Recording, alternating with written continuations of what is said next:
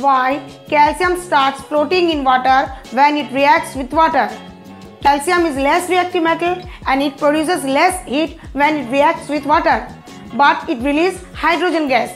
The hydrogen gas is a very light gas and so the bubbles of hydrogen gas stick to the surface of metal like calcium and magnesium and it appears that calcium or magnesium is floating in water. It is due to the release of hydrogen gas which stick to the surface of the metal.